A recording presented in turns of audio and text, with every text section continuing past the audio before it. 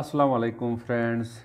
Today we will discuss introduction of Fourier series. Periodic phenomena involving waves, rotating machine and other repetitive driving forces are described by periodic functions. Fourier series are basic tool for solving ordinary differential equations and partial differential equations with the periodic boundary conditions. Fourier series can be defined as that it is an expansion of a function or representation of a function in a series of sine and cosine waves is called Fourier series. For example, we have a vibrating body like tuning fork. When a tuning fork vibrates, sound waves in the form of sine waves and cosine waves are generated. This is called the sine waves and this is called cosine waves. If we have two tuning forks of different frequencies and they vibrate simultaneously, then after vibration sine waves will be produced. For example, this one is the sine wave produced by first tuning fork and this one is the sine wave of second tuning fork. So, if we look at this, we will observe that both waves have different frequencies. When these waves superimpose each other simultaneously, a resultant wave like this will be produced. This resultant wave is a combination of two sine waves. Similarly, if we have three tuning forks, the first tuning fork has a frequency of 100 Hz, second tuning fork has a frequency of 200 Hz and third one has a frequency of 300 Hz. And all of these tuning forks vibrate simultaneously. Then three types of sine waves will be produced. For example, this is the sine wave produced by first tuning fork and this one is the sine wave produced by second tuning fork which has a frequency of 200 Hz and this one is the sine wave produced by the third tuning fork which has a frequency of 300 Hz. When these three waves superimpose each other simultaneously then a resultant wave like this will be produced. This dark line shows the resultant wave of these three sine waves.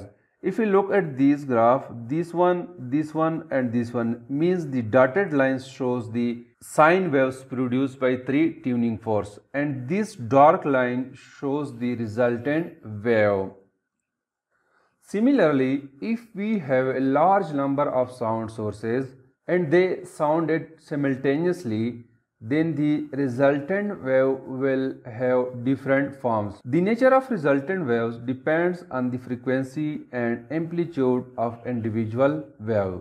The resultant wave may contain sine wave or cosine wave or both sine and cosine waves. We can represent these sine and cosine waves by mathematical equations which contain large number of sine and cosine waves. For example, f of x is equal to a1 cos x plus a2 cos 2x plus a3 cos 3x plus so on.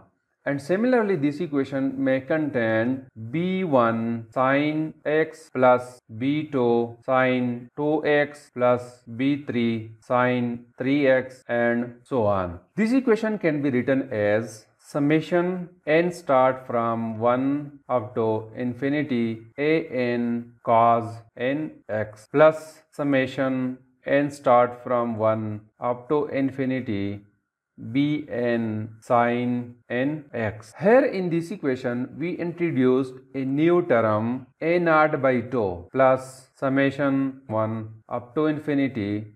I can write these terms together as an cos nx plus bn sine nx. Here the a naught by 2 shows the DC lines. So, in some cases, the resultant wave may be above the baseline and in some cases, the resultant wave may be below the baseline.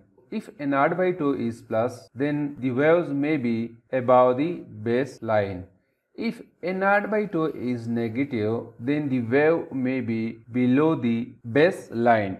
For example, this one is the baseline so the wave may be above this one and may be below this base line.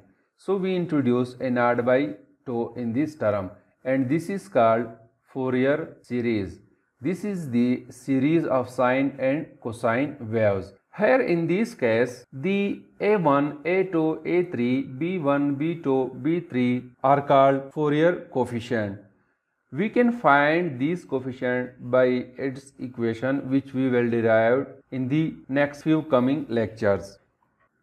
In order to apply Fourier series, the function must satisfy certain conditions which are called Dirichlet conditions. First one is that the function should be single valued. The second condition is that that the function should be absolutely integrable for example, if we have a function which is defined in the boundary condition between minus infinity to plus infinity f of x dx, this function must be integrable. It has some finite value. The next condition is that there must be finite number of maxima and minima in the function.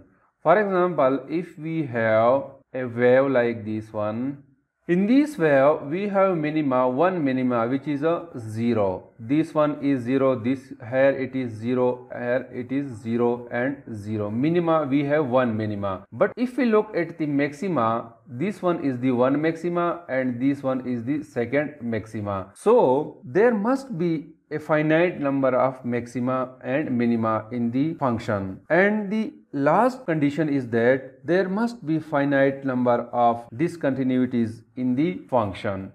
So this is called Fourier series. In this series a naught, a n and b n are called Fourier coefficients. If the limits of integrations are between minus pi to plus pi then we will use this Fourier series. But if the limits of integration are between minus L to plus L, then we will use this series. Here A naught is equal to 1 over 2L from minus L to plus L f of x dx and an is equal to 1 over L into minus L to plus L f of x cos n pi x L dx and bn is equal to 1 over L integration from minus L to plus L f of x cos n pi x L dx.